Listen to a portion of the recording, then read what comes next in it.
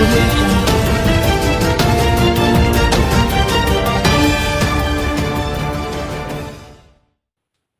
YouTube channel বরাক্তরঙ্গি আমি আশু চৌধুরী, আপনাদেরকে জানাই স্বাগত।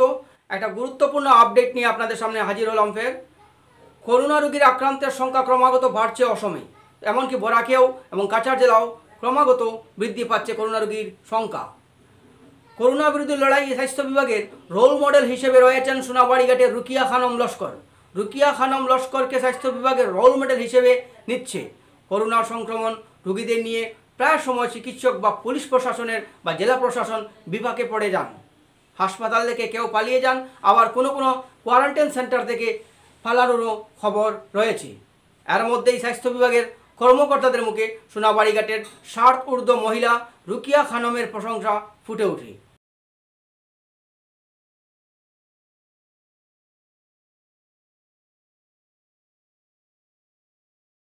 রোল মডেল হিসেবে নেওয়া রুকিয়া খানম লস্কর গত দুই জুন তিনি দিল্লি থেকে ফেরেন। দিল্লিতে তার কনিষ্ঠ পুত্র ছিল এবং সেখানে তিনি গিয়েছিলেন, সঙ্গে ছিলেন তার এক মেয়ে এবং দুই নাতনি। লকডাউনে তারা আটকা পড়েন। বিমান পরিষেবা চালু হওয়ার পর মুহূর্তে তিনি দুই জুন বাড়ির উদ্দেশ্যে রোয়া- রওনা দেন। শিলচর শহরে পৌঁছার পর যখন তাকে হোম কোয়ারেন্টাইনে দেওয়া হয়, তিনি তার বাড়ির পুত্রবধূ পুত্র এবং নাতি, নাতনিকে সরিয়ে সেখান থেকে অন্যত্র নিয়ে যাওয়ার নির্দেশ দেন। এই মুহূর্তে সম্পূর্ণ বাড়ি খালি এবং রুকিয়া খানম এবং তার মেয়ে এবং নাতনি সেই বাড়িতে হোম কোয়ারেন্টাইন ছিলেন অন্য কেউ ছিল না।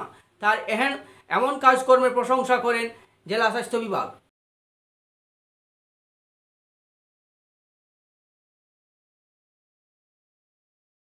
রবিবার সাংবাদিক সম্মেলনে district media expert Suman Chowdhury Rukiya খানমের কথা তুলে ধরে প্রশংসা করেন এবং তিনি বলেন, সবাই জনে এভাবে এগিয়ে এলে এবং সহযোগিতা করলে করোনা লড়াই আরও সহজ হবে বলে তিনি মনে করেন। গতকাল দুজনের কাছাড় জেলার পজিটিভ কোভিড পজিটিভ পাওয়া গেছিল এবং গত পরশু দিন সাতজনের কোভিড পজিটিভ পাওয়া গেছিল। এর মধ্যে একজনের বাইরে বাকি সব বিভিন্ন প্রাতিষ্ঠান প্রাতিষ্ঠানিক কোয়ারেন্টাইনে ছিলেন ইনস্টিটিউশনাল কোয়ারেন্টাইনে ছিলেন। একজন শুধু হোম কোয়ারেন্টাইনে ছিলেন। তো সবাইকে ওয়ান জিরো এইটের মাধ্যমে উঠিয়ে আনি, এনে আমাদের শিলচর মেডিকেল কলেজে ভর্তি করা হয়েছে। একজন যিনি হোম কোয়ারেন্টাইনে ছিলেন ওনাকে সত্যি, সত্যিকারের অর্থে প্রশংসা করা উচিত। প্রশংসা করা উচিত এই জন্য যে উনি যখন ফ্লাইটে আসেন ফ্লাইটে আসার পর উনি হোম কোয়ারেন্টাইনে যেহেতু ওনার বয়স হোম কোয়ারেন্টাইনে চলে যান। কিন্তু হোম কোয়ারেন্টাইনে যাওয়ার যাওয়ার আগে উনি কি করেন ওনার বাড়ির সবাইকে সেই বাড়ি থেকে পাঠিয়ে অন্য জায়গায় পাঠিয়ে দেন। এবং উনি, এবং ওনার শুধুমাত্র মেয়ে যিনি ওনার সঙ্গে গেছিলেন ওনারা দুজনই বাড়িতে ছিলেন। তো বাড়িতে বাড়িতে আর কারও সংস্পর্শে উনি আসেননি। সেই জন্য আমাদের পক্ষে খুব মানে ইজি হয়ে যায় ব্যাপারটা। এবং যখন ওনাকে পিক আপ করা হয় ওয়ান জিরো এইটের মাধ্যমে, উনি আমাদেরকে খুব সহায়তা করেন।